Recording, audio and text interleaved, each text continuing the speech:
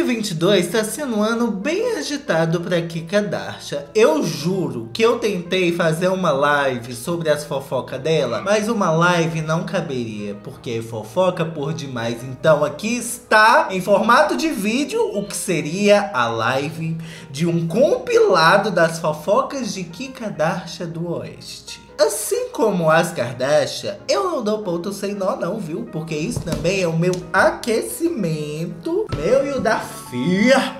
Ei, fia! Para a estreia da segunda temporada de The Kardashians. Muito prazer. Eu sou Breno Moreiro, junto com a Lilo Moreiro. E você pode seguir a gente no arroba Breno Moreiro no Instagram, no TikTok e no Twitter. Por quê? Eu sou o seu sommelier de tretas gringas de total. E você seguindo todas essas redes sociais, você vai sentir um brilho diferente tomar conta do seu corpo é porque você está se tornando um cristal para habitar o ecossistema, Moreiro. Vamos viajar no tempo e voltar em março desse ano, em que Kika Darsha do Oeste deu uma entrevista para a revista Variety, junto com suas irmãs e sua mãe Zoka. E assim, a Kika, ela tenta manter uma imagem mais limpa. Ela nas entrevistas é sempre um, um, um, yeah,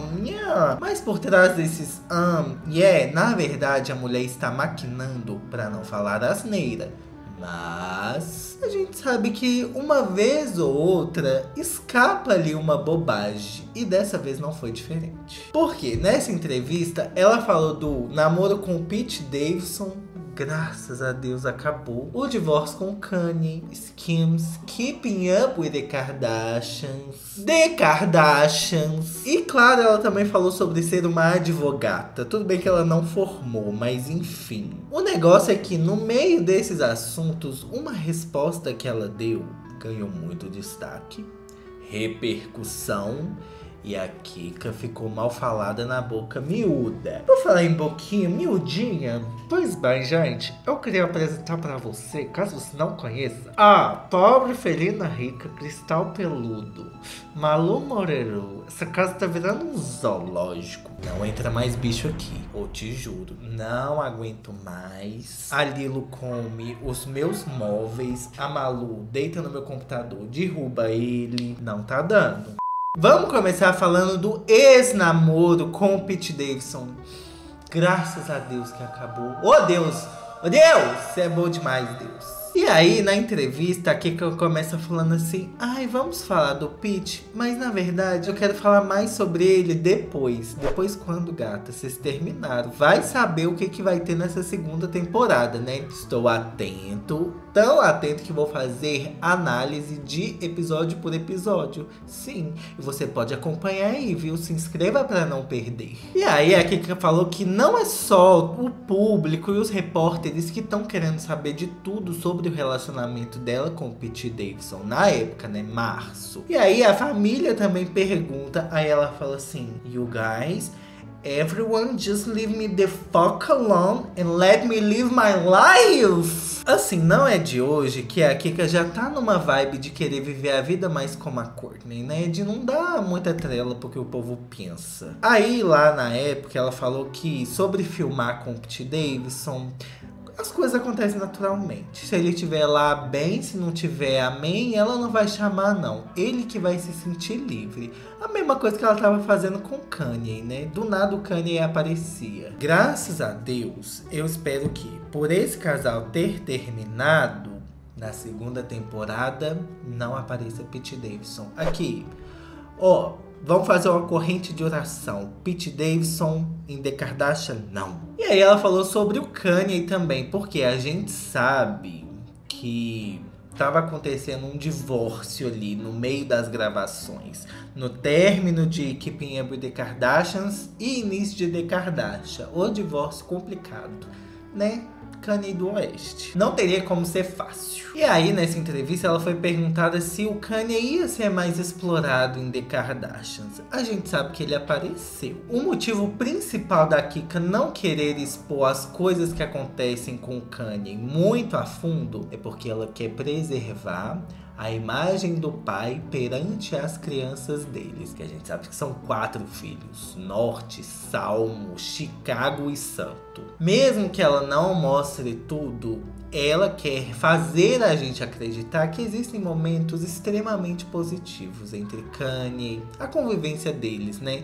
Juntos, coparentalidade. Agora, por incrível que pareça, a mulher, ela é marqueteira, né? Eu não sei se foi de caso pensado ou não, mas o que chamou mais atenção nessa entrevista foi quando ela falou da Skims, a Demilos que ela vende. Por revista? Não, pelo Instagram. Eu falo Demilos porque Skims é a marca daqui de shapewear, roupa íntima. Já virou marca de roupa, né? A mulher faz tudo já hoje em dia. A Skims está avaliada em 3 bilhões e 200 milhões no mercado. Gente, isso é muito dinheiro. E aí perguntaram assim, Kika, a que você atribui tanto sucesso da sua Demilos, mulher? Que calcinhas são essas que dá tanto dinheiro? Aí ela fala assim, eu definitivamente nunca imaginei que seria tão bem sucedida. Faço de tudo, desde escolher os tecido, o design do produto, até as campanhas. Estou nas campanhas também e sou modelo de teste. É um trabalho em tempo integral, ô oh, tadinha três condução para chegar e fazer suas calcinhas, né, Kika? Nada vem fácil. Você realmente, realmente tem que trabalhar muito duro para isso. Só que essa fala da Kika acabou pegando bem mal. Porque assim, a gente sabe que a Kika vem já de uma família rica. E por mais que ela tenha dado duro, não tô desmerecendo o trabalho dela não. Mas para ela chegar em dar esse duro, a gente sabe que esse duro já vem amaciado de privilégio, né? Já vem de dinheiro velho, a família dela. Diferente da gente, né? Eu espero assim, eu pelo menos vou falar por mim, né? Não vou falar pra você, vai que você é rica. E parabéns por isso. Quiser contribuir aqui com o canal, pode deixar um valeu demais também, tudo bom. Só que esse foi só um dos comentários, porque tem outro. E assim, foi um comentário bobo? Foi. Mas acabou tendo uma péssima repercussão. Porque se falar de Kardashians e trabalho, sempre vai ter uma péssima repercussão. Só que não foi uma entrevista apenas redigida, não, tá? Teve vídeo. E no vídeo aqui cablou, hablou até demais. Ela resolveu, com a cara mais limpa do mundo, falar assim: tem o melhor conselho para as mulheres nos negócios. Levante sua porra de sua bunda e trabalhe. Parece que ninguém quer trabalhar hoje em dia. Kika. Ô, Kika! E assim, gente, tem críticas pesadíssimas do povo falando que as Kardashian não trabalham, que elas não fazem nada. As direcionadas a Courtney, eu concordo. A sem sal, eu concordo. E aí ela continuou, tá? Não acabou, não. Ela falou assim: focamos no positivo. Nós trabalhamos duro. Se é isso que você pensa que a gente não trabalha, então desculpe. Simplesmente não temos energia para isso. Não precisamos cantar, dançar ou atuar. Podemos ganhar dinheiro vivendo nossas vidas. E ei, nós conseguimos fazer isso muito bem. Eu não sei mais o que te dizer. Eu fiquei me perguntando assim: a que estava estressada? Com quem? Ela queria mandar essa mensagem com quem? Porque assim, falar com pessoas que não são tão ricas quanto elas, que dependem de um salário mínimo ou um salário assim, não muito generoso, pra quê?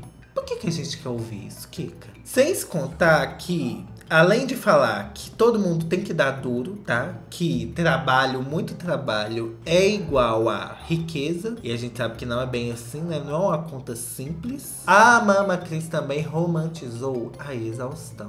Ai, que gostoso ficar sempre cansado. Os Kardashian, vocês nunca ficam completamente cansada, né? Mentalmente, ok. Mas assim, você não fica, acaba o trabalho e pensa, não, eu ainda tenho que lavar a louça.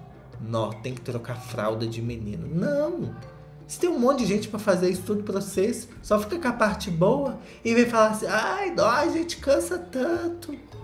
E aí a Mama Cris foi perguntada assim: ai, nossa, por que, que vocês estão fazendo outro reality? E aí a Mama Cris respondeu assim: bem, o dinheiro sempre importa. Acho que qualquer um seria tolo em dizer que o dinheiro não importa mais. Ou seja, as bichas são uma máquina de dinheiro. Faz dinheiro, ó, que a gente nem vê como. Kika postou uma selfie, 300 milhões. Só que todas essas declarações na época, lá em março, fizeram com que o Twitter pegasse fogo, entrasse em chamas. Porque não só criticaram as Kardashians, mas também condenaram o jeito com que elas tocam seus trabalhos no quesito tratamento aos funcionários. E teve exposed de gente que trabalhou com elas, tudo bom. Vou ler aqui, por exemplo. Ó. Ah, é muita falta de senso da realidade. A maioria das mulheres que trabalha duro por aí, ralando seus preciosos tobas, não nasceram de pais ricos e muito menos têm acesso a privilégios como o seu. Aí o outro falou assim: Kika pode até realmente ralar muito toba, mas isso não é garantia de sucesso. Para cada história de sucesso, tem outras 100 pessoas trabalhando em dois empregos, vivendo com salário mínimo. Aí a outra foi mais fundo. Eu era editora nos aplicativos das Kardashians em 2015, em Los Angeles. Eu só conseguia comprar coisas nas lojas de 99 centavos. Tive que ligar dizendo que estava doente para trabalhar de casa várias vezes porque eu não tinha dinheiro para abastecer meu carro para chegar até o escritório. E fui repreendida por conciliar esse trabalho, Cascardasha, com outros trabalhos freelance. E a Kika mandando o povo trabalhar duro, quando trabalha demais, não, não tá bom. Kika. Sim, Kim. Pessoas estão cansadas de trabalhar 30 horas ou mais por semana e ganhar um milésimo do que você ganha por fazer absolutamente nada. Apenas assinar o seu nome em um produto que outra pessoa desenvolveu. E a outra foi mais pesada ainda. Ai, por favor, Kim Kardashian. A única vez que você levanta a bunda é pra ficar de quatro. Mãe solo com dois trabalhos, escutando a Kika Kardashian falando que elas têm que trabalhar mais duro. E o cachorro assim. E a outra foi mais profunda ainda. Kim, there's people that are dying. Uma quote, uma frase da própria Courtney. Tem também uma parte na entrevista da Kika que ela fala sobre evitar ambientes de trabalho tóxico que isso assim não faz um trabalho render. E isso trouxe à tona uma vaga na Jenner Communications, que é uma empresa das Kardashian. Mais especificamente, eu acho que é ou da Mama Cris ou da Kylie. Esse trabalho é de meio período, um estágio sem pagamento. Não, olha o que, que você tem que fazer. Fazer uns serviços para ela. Ai, tem que ir no correio. Ai, tem que não sei o que. Tem que fazer.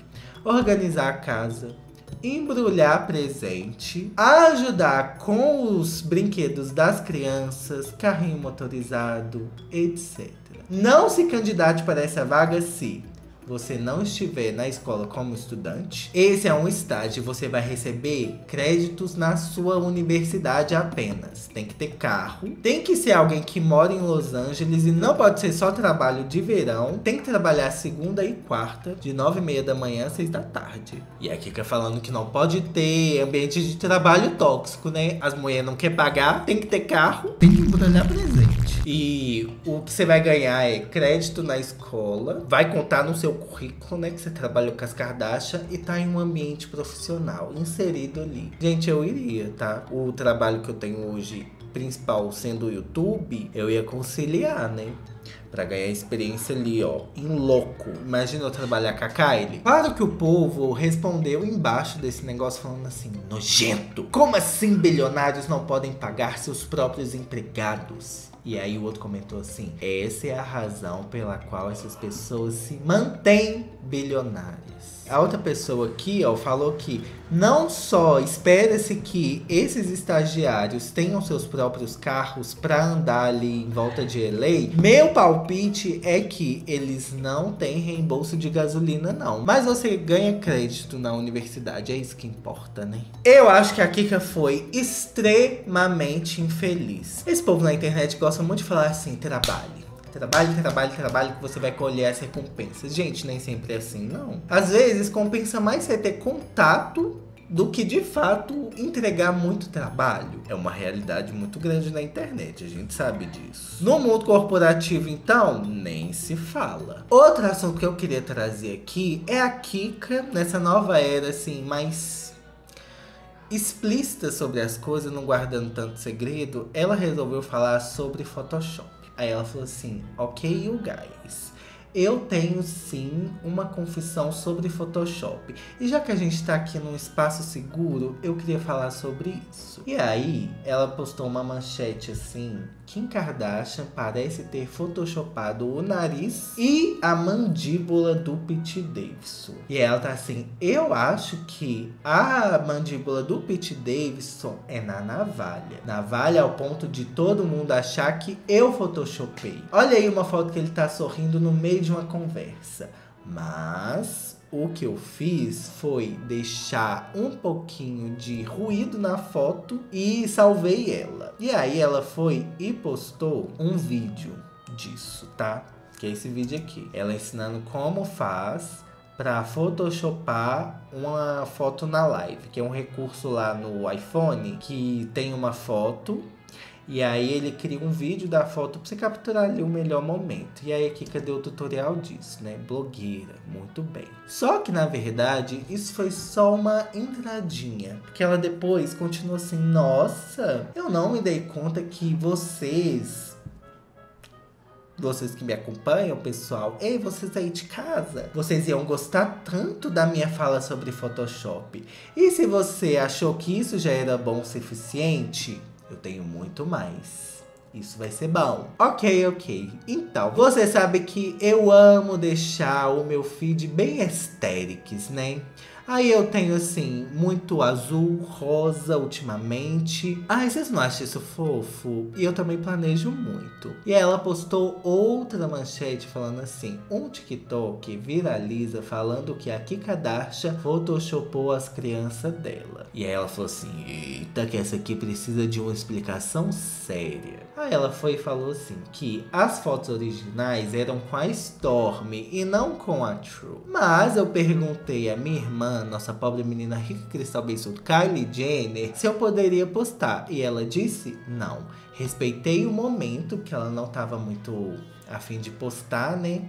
Foi na época da tragédia do Astro World que o show do Travis teve vítimas fatais. E aí que eu falei assim: não, vou respeitar esse momento. Então o que eu fiz foi não vou, aqui que falando, né? Não vou atrapalhar com meu feed, vou postar essa foto sim, vou pegar a cara da True de outra foto e colocar na cara da Storm. Tudo bom. Aqui que achou que ninguém ia perceber. Gente, todo mundo percebe tudo que as Kardashian faz. E aí, Kika Kardashian foi honesta sobre isso tempos depois acho que uns seis meses depois. Outra fofoca que eu gostaria de estar citando aqui também, Tutupão, é uma fofoca quente, velha, mas que voltou 20 anos depois. Kika Darsha e Ray J. A fita em que eles fazem um nheco-nheco voltou à tona. Essa fita deles foi vazada, entre muitas aspas, lá atrás. E aí, 20 anos depois, como a gente viu lá na temporada de Keeping Up with the Kardashians, o filho da Kika, o Santo, viu que estavam com a foto da Kika, ele não sabe ler. Mas lá no jogo dele falava que tinha uma fita nova da Kika Darsha. Essa mulher ficou desesperada e por ter falado isso no reality, o Ray J, que era o namorado da Kika na época, ficou ofendido. E aí ele falou assim: para de desenterrar essa história. Quer saber? Vou botar a minha boca no trombone? Sim. E aí ele disse que Mama Cris fez ele e a Kika gravarem não uma, não duas, três vezes o conteúdo explícito que estava nesta fita. Tudo isso para quê? Para que ficasse bom o suficiente para Mama Cris aprovar. Mona, você é maluca? Com todo respeito, não, se você vê o vídeo é com todo respeito mesmo. E o homem veio com provas. E ele abriu uma live no Instagram e mostrou uma foto lá que era fita 1, fita 2, fita 3. Com as especificações dos takes, né? E aí ele falou que a Mama Cris assistiu e disse o seguinte. Nós vamos com o primeiro porque é melhor, dá uma aparência melhor para minha filha. E aí o Ray J escreveu um textão pra Kika lá na DM do Instagram. E a Kika falou assim: Meu Deus, Ray J, que textão é esse? Agora que eu vi, desculpa pelo atraso. Mas ele falou assim: Kika Darsha, eu entendo como é para você promover o seu reality, né? Fazer a propaganda, etc. Mas por favor, isso saiu de controle. Eu tenho que manter a integridade da minha família. Para de falar que tem outra fita. Essa história de eu estar enfiando um Enzo no seu rabão, Kika, enquanto você dormia. Você não acha que essa história é muito doida, Kika Dasha? Eu acho que você ia sentir. Seu popozão não poderia ser tão aberto e relaxado o suficiente para você não sentir enquanto eu estava colocando o negócio lá enquanto você dorme. A gente sabe disso, Kika. Gente, o Ray J quer manter a integridade da família e manda isso pra uma mulher? E aí a Kika falou assim: Ray J, meu Deus, assista o episódio. Eu não falei mal de você, homem. Pelo amor de Deus, me deixe em paz. Só que o resumo é: Mama Cris, mercenária. A fita que foi vazada, a gente sabe que ela foi combinada pra vazar. E foi essa fita que catapultou Kika Dasha para a fama e 20 anos depois, um império bilionário faria. Tanta gente fazendo OnlyFans aí, né? A Kika Dash foi quem começou, reflita. Aqui a Kika Dash foi pioneira. Anitta, por que choras? Vou deixar um vídeo aqui falando sobre vezes que a Anitta não foi tão pioneira assim. Outra polêmica de Kika Dash que passou despercebida aqui no canal. Na verdade, eu citei em algum vídeo, não sei qual, mas vou estar falando aqui. É porque, enquanto a Kika só ficou com o Pete Davidson, o Kanye do Oeste ficou com vários várias mulheres. E sempre na tentativa de resgatar a sensação de que estaria com Kika Darsha com mulheres que se parecem muito com Kika Darsha. Uma delas, Shanae Jones, que adora Gente, se coloca uma do lado da outra, é a mesma coisa. Só que a Shanae que copia a Kika que a Kika veio antes. E a polêmica começou porque uma postou uma foto e a outra foi lá e postou uma foto bem parecida na mesma estética. Só que uma fez um ensaio pra revista e a outra só quis dar o close assim de que. Aí a Kika, boba nem nada, né, falou assim: olha eu fiz essa foto lá em janeiro para um ensaio para a revista Sports Illustrated. Assim, deixou registrado ali que ela foi a original. Analisando a foto, gente, é bem parecida, né? O óculos é do Kanye West esse óculos horroroso. E aí a Kika, não, a foto é muito parecida. Detalhe que a doida da Chanel tem um EA tatuado. Não ficou nem duas semanas direito com Kanye West. Ele já deu o pé na bunda dela, depois de voltar umas duas, três vezes. A mulher continua imitando a Kika. Isso tudo para ser objetificada pelo Kanye West. Quando ele viu que o conteúdo não é igual da Kika, desistiu. Outra coisa, oh, gente, eu tô dando atualizada aqui nas fofocas da Kika que não saiu na grande mídia, hein? A Kika participou de um podcast chamado Not Skinny But Not Fat. E a Chloe também foi nesse podcast, falou um monte de baboseira lá. Mas aí é importante ressaltar, assim, umas revelações que a Kika fez nesse podcast que precisam ser comentadas. A Kika é tão marqueteira que eu fico passado. Ela falou que antes da Skims a Demilos dela, ela nunca usou calcinha antes na vida. Gente, como que a cabeça da mulher maquina pra soltar umas baboseiras descaradas dessa? Como uma mulher não usa calcinha? Tipo assim, né? Tem umas que dá, mas eu fico pensando, eu confissão aqui, tá, gente? Eu sempre uso cueca. E aí eu fico pensando assim, no priquito roçando em tudo que você veste. Não deve ser confortável.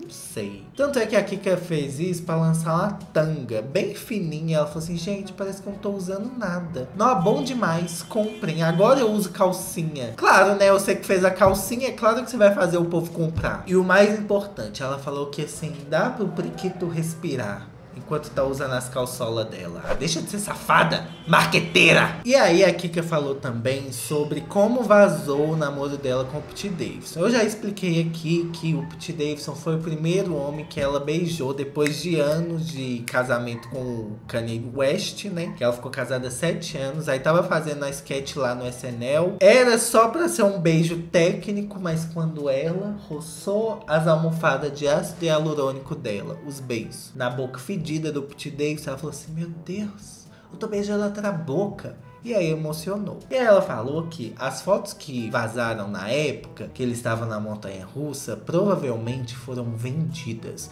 por alguém que tinha acesso às câmeras. E o mais importante, eu acho que polêmico desse vídeo é as transformações que Kika tem feito em seu próprio corpo. A Kika, para o Met Gala desse ano de 2022, resolveu que ia vestir o vestido da Marilyn Monroe, um vestido que a mulher usou há mais de 60 anos atrás. Eu já falei mais especificamente desse vestido aqui no vídeo. Então eu vou resumir. A Kika emagreceu horrores para entrar nesse vestido. Emagreceu cerca de 7 quilos. E aí o vestido rasgou. O vestido que já era velho, puído, que devia ficar só parado no museu, nem no museu tava. Tava numa loja de bizarrices que gosta de expor coisas e cobra ingresso pro povo ir lá ver essas coisas raras. Uma delas o vestido da Marilyn Monroe. Só que o que está preocupando as pessoas é que Kika Darsha foi responsável, uma das responsáveis, né, por criar essa nova estética da gostosona, né, rabão, peitão, que não sei o que. E aí resgataram uma foto da Kika lá de 2017 que ela tava numa praia do México. E aí elogiaram a Kika por aparecer numa foto que é real. É um corpo com celulite, um biquíni horroroso, a rabona dela gigantesca. E assim, não tem aquela barriga chapada, aquele corpo perfeito que a gente está acostumado a ver. Só que recentemente a Kika mudou bastante. Lá em junho, o The Sun publicou uma matéria falando que a Kika era skinny Kimmy, porque a bicha está seca. No total, fizeram a conta que a Kika perdeu, na verdade, em um torno de um mês e meio, 9,5 kg. 7 quilos só para entrar em um vestido. Gente, isso é muito tóxico. O tanto que a ditadura da beleza joga um peso sobre não só mulheres, né? Mas assim, principalmente sobre as mulheres. Ai, que você tem que emagrecer. Ai, que você tem que tomar remédio. Faz exercício, não sei o que. A mulher banaliza e perde 7 quilos para entrar num vestido e depois rasga. Não! A Kika não só emagreceu e acabou, não. Ela tá ficando cada vez mais seca. A bunda diminuiu. O silicone ela tirou. Os braços, isso aqui, a mulher tá ossuda. O osso da saboneteira dela tá pulando. Essa foto aqui, que ela tá em 2017, num programa de entrevista, acho que é o Jimmy Fallon. E, ah não, James Corden. Um, ela tá no James Corden em 2017. Ó como que ela tá ombruda, fortona, peituda. E agora, a minha tá seca, esmirrada. Meu Deus! E aí, nessa entrevista, também vou dar umas fofocas aqui. Ela falou que a estreia de The Kardashians no Hulu foi simplesmente a maior estreia da plataforma. E ela falou que o trailer não fala muita coisa, que o primeiro episódio vai chocar todo mundo. A gente vai reagir isso aqui junto, tá?